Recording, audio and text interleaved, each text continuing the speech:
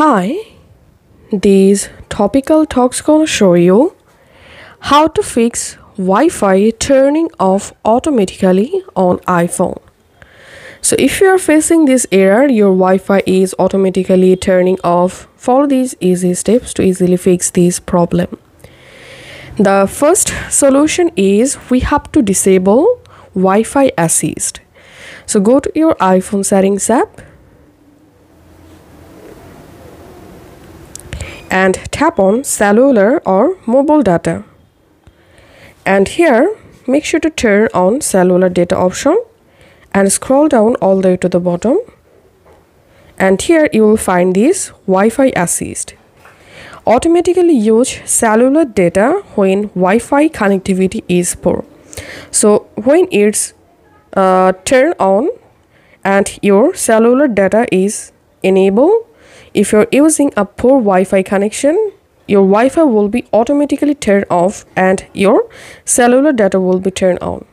So if if it's enabled, it may be the reason of you are facing Wi-Fi automatically turning off error. So all you have to need is disable Wi-Fi assist option from here and then check the error. And the second solution is Forget the Wi-Fi network and rejoin. Go to your iPhone settings and tap on Wi-Fi. Tap on this info button next to the Wi-Fi you are using and just tap on forget this network. Forget. Now all you have to need rejoin the Wi-Fi and then check the issue and the third solution is simply reboot your iPhone.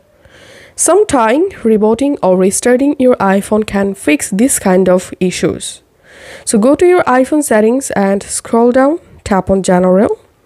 Scroll down all the way to the bottom and tap on Shutdown.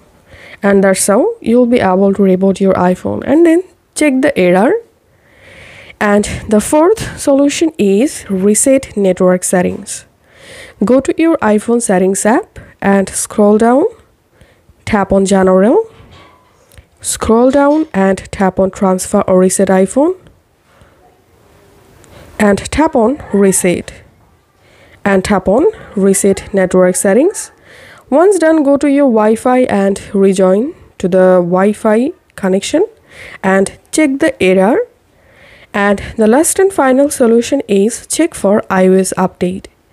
Go to your iPhone settings and scroll down, tap on General, Software Update, and if you see any new update, new iOS update available, all you have to need update the latest iOS version. And hope this will fix the error. If this video help you out, please leave a like and leave a comment down below. Thank you for watching.